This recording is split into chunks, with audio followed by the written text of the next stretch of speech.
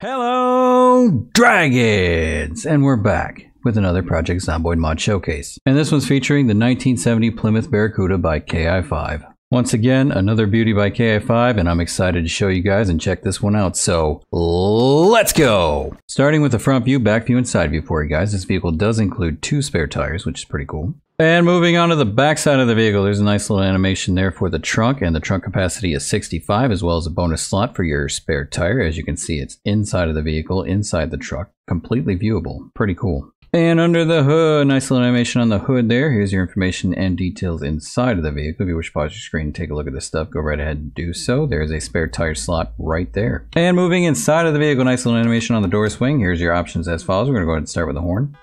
Pretty much standard horn. We're going to move on. And moving on to the headlights, you know what comes next, boys. Here comes. Boom, boom, boom, boom, boom, boom, boom. Frickin' sweet, dude. And that there's the 1970 Plymouth Barracuda by KI5. What do you guys think? Let me know in the comments. I think it's absolutely beautiful, dude.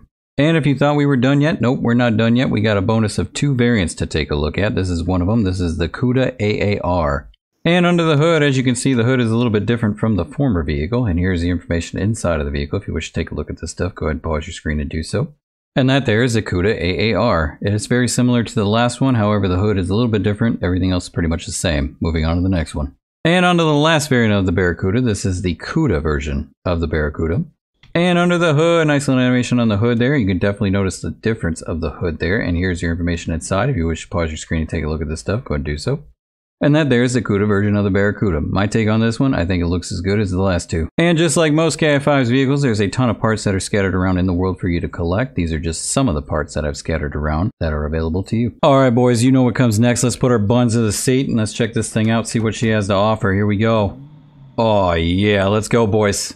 I have a few extra details to share with you guys and they are the three models have unique features being fast, storage differences, performance, handling, and possibly more that I haven't even covered or will be added in the future. As stated before, this mod features extra parts to find in the world to customize the vehicle or vehicles to your liking. It does have three optional front and back bumpers and two spoiler types to choose from, lots of texture variations. And these three models also offer armor protection for doors, windows, the engine, and more. What else could you ask for? And as far as the crash test on this vehicle, I did smash into a vehicle as well as other zombies, and the only thing that was orange on this vehicle was the hood. Everything else was intact. As far as my driving experience, I have no complaints, dude. This thing drove amazing, handling was great, brakes were good, handbrake, tail whip, all of it. Loved it. And that's it for this video. If you like this video, go and dragon smash that like button and subscribe. Become one with us dragons. And I hope to catch you in the next freaking mod showcase. Goodbye for now.